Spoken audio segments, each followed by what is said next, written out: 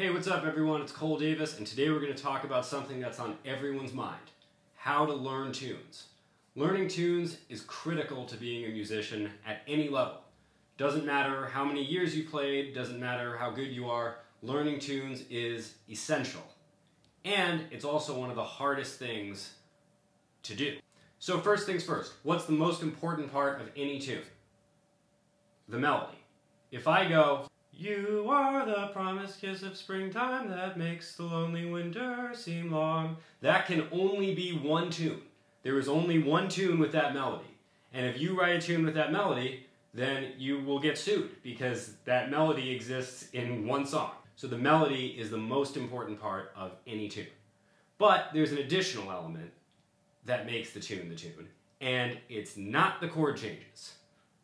Let me tell you what it is. I went to college in my hometown of New York City, New York, at a place called Juilliard.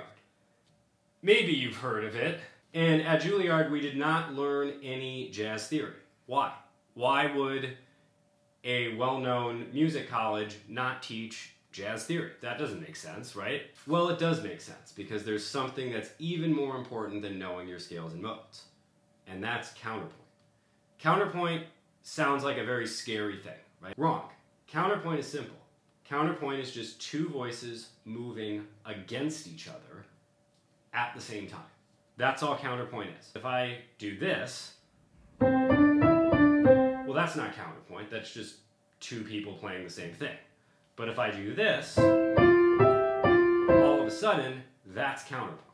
Because you have two voices moving at the same time doing two different things. The best way to learn tunes is to sing the melody and play the root at the same time. I'm going to take this tune, All the Things You Are. It's a great tune, one of the best tunes, one of the seminal tunes in the Great American Songbook. And I'm going to sing the melody. Ah, ah, ah, We're just going to do up to there. Right? So that's the melody to all the things you are. Now, what am I going to play under that melody? I'm going to play the root motion. I'm not going to play a bunch of scales or a bunch of modes because that's not all the things you are. That's the changes to all the things you are. That's the chords that have been added to all the things you are. But the most important thing after the melody is just the bass notes. And the bass notes and the melody together create counterpoint. Let's check it out.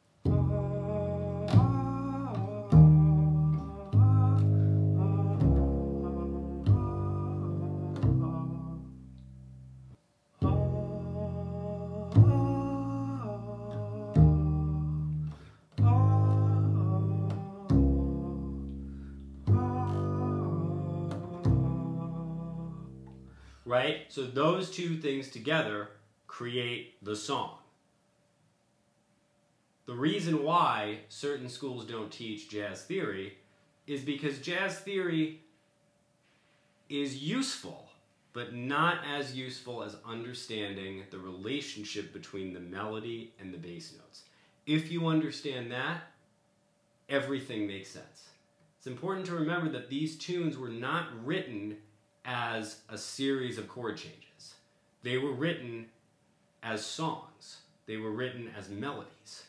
The changes in the original songs are often very different from the changes that we jazz musicians play because they weren't written that way. They weren't written with changes and improvisation in mind. They were written as counterpoint between melody and bass.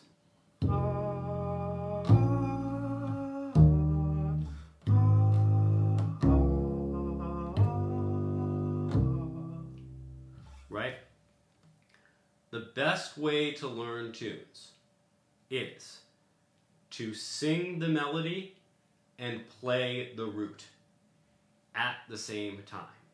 If you play saxophone or trumpet or a melody where you're using your voice, play the roots on piano. That is the best way to learn tunes. I'm very serious about that. A lot of us learn tunes as a series of changes or a bunch of scales or modes and we think, what can I play over this? If you can do this,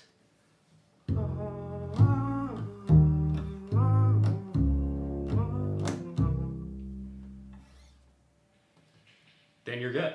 If you can play a whole tune or even part of a tune, singing the melody and playing the bass part, you will never forget it. And if you can't do that, unfortunately, you don't really know the tune. I'll be the first to admit that I don't actually know that many tunes. I only know about maybe 900 to 1,000 tunes. But the tunes I know, I really know. I have good enough ears where I can sort of fake my way through a lot of tunes. But the tunes that I know, that I can sing the melody and play the root motion, those are the tunes that I really sound good on. The other tunes, I can kind of BS my way through it and it, it is what it is. But the tunes that I know are the tunes that I can sing the melody and play the root motion. I'm going to do that over all the things you are.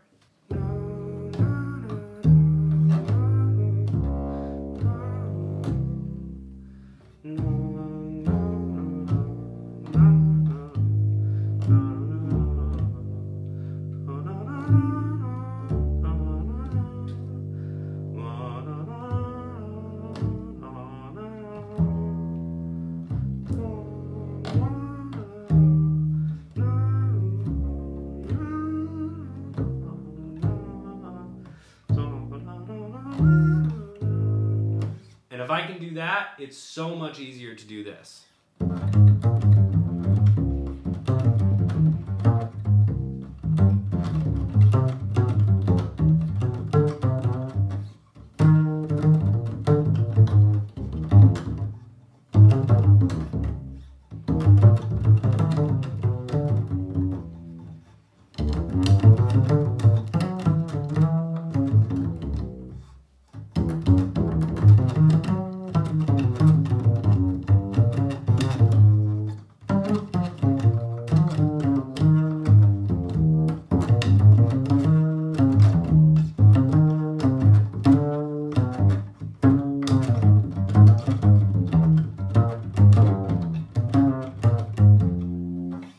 Now that I can sing the melody and play the bass part, the ideas just flow pretty naturally.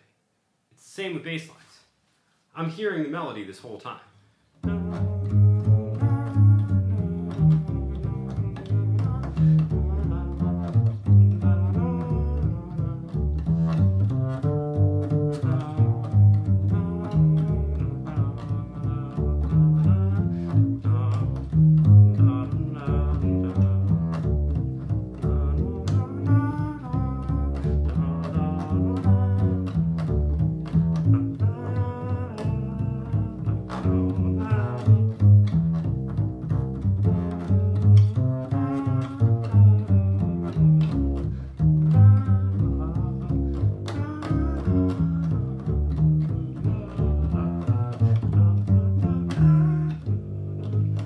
That was humiliating for me, but the bass lines just came out naturally without me even thinking about it. I wasn't thinking about the bass line.